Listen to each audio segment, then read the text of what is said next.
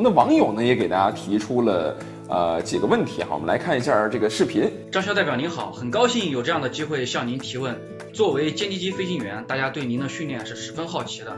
您能不能和我们讲一讲，您第一次驾驶战机飞向蓝天的时候是什么感觉呢？嗯，跟我们分享分享那种第一次飞上蓝天，其实 第一次飞上蓝天，其实就像大家第一次自己开车上路感觉一样的，是既兴奋，然后又有点紧张。嗯，同时，呃，坐飞机和自己开飞机的感觉还是不一样。自己驾驶着飞机，然后看到下面的大好河山，那么觉得整个人还是呃什么烦恼都没有的，也觉得自己还是挺酷的。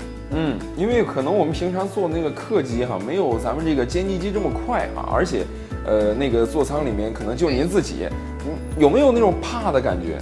第一次上天多少会有点紧张，但是怕倒是没有，因为在地面已经做了很多的准备了，所以对自己还是有这个信心的。远远代表你好，我是一名大四学生，我想成为一名空姐，但又想成为一名女兵，所以特别的犹豫，请问有什么建议可以给我吗？您给他提一个建议吧。我觉得其实就像我自己一样，当时当时也是考空姐，然后后来去当兵。嗯。然后我觉得这种东西要看自己的，真的是要看自己的一种，呃，信仰和追求。我觉得我自己想成为一名女兵，如果说他只是觉得我是一名空姐，我去当兵我很酷或者很炫，我觉得要选自己喜欢的。但是如果心里有这个情怀，有这个爱国情，我觉得。如果说不管是你在哪个职位或者在哪个岗位上，你都可以去当。嗯，说的很好啊。其实说这样的一个选择，最终还是看自己的一种喜好和一个自己的一个追求哈。我们知道各位代表除了平常的这个本职工作之外啊，还要履行这种人大代表的职责哈，训练生活很繁重。那我们来问一问张潇代表哈，那作为一名女军人啊，女飞行员，女人大代表，你是怎么来平衡家庭和工作的啊？有没有？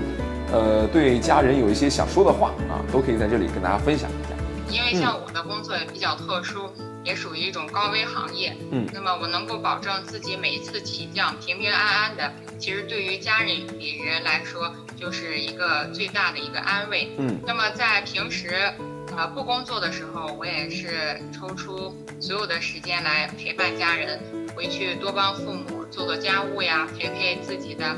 孩子呀，然后和老公也是多交流，就尽可能的去多陪伴他们。嗯嗯，对于家里人想说的话，就是特别的感谢我们全家人对我的支持吧。嗯，尤其是我的父母，现在他们年纪也很大了，但是能够为了让我安心的去飞行去工作，他们也是过来帮我呃带小孩，也是照顾我的生活，所以我还是非常感谢他们的。